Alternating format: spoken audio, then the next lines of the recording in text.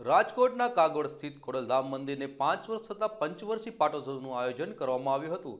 કોરોનાના વધતા સંક્રમણને કારણે આ પાટોત્સવ રાજ્ય સરકારની ગાઈડલાઇન મુજબ દોઢસો લોકોની ઉપસ્થિતિમાં યોજી વર્ચ્યુઅલ પાટોત્સવનું આયોજન કરવામાં આવ્યું હતું.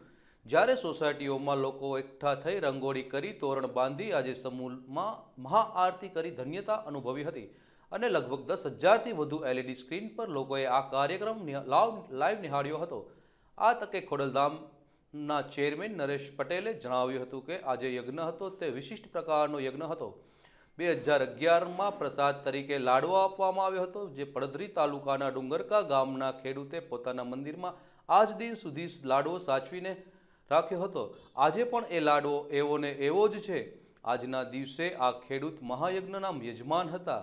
બે હજાર સત્તરથી આજ સુધી ખોડલધામે અનેક રેકોર્ડ સ્થાપ્યા હતા. તેમજ કેશુબાપાને પણ નરેશભાઈ પટેલે યાદ કર્યા હતા અને કહ્યું હતું કે બાપાએ રાજકોટથી મૂર્તિનું પ્રસ્થાન કરાવ્યું હતું.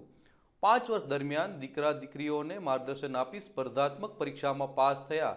સરદાર પટેલ ફાઉન્ડેશનમાં અનેકવિધ સેવાકીય અને શિક્ષણના કાર્ય થયા.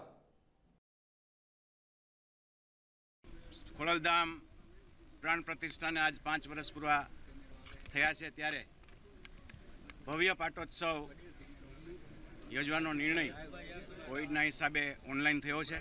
વિશ્વભરમાં ઘરે ઘરે રંગોળી થઈ છે, ઘરે ઘરે દીવા થયા છે અને ખૂબ ઉત્સાહથી લોકોએ ઘરે બેસીને પણ આ પાટોત્સવની ઉજવણી શરૂ, આજ સવારથી જ ચાલુ કરી દીધી છે. ત્યારે દરેક પાટીદાર સમાજના સમાજના દરેક ઘરને હું અભિનંદન પાઠવું છું અને મા ખોડલ એને હંમેશા હંમેશા આશીર્વાદ આપે એવી પ્રાર્થના કરું છું. એકવીસ જાન્યુઆરી એટલે લેવા પટેલ સમાજ માટે ઐતિહાસિક દિવસ છે.